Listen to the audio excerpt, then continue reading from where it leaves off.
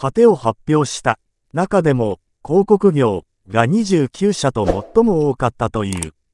一般的に、テレビ番組などに比べて出演料が高いとされる。CM 起用、だが、ジャニーズ事務所の所属タレントのギャラはどれくらいの金額になるのか。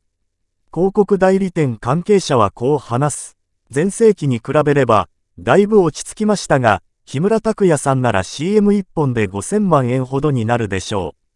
松本潤さん、二宮和也さん、相葉雅紀さん、桜井翔さんら、嵐、メンバーや岡田准一さんを起用するとしても、木村さんと同額程度かそれ以上は必要になります。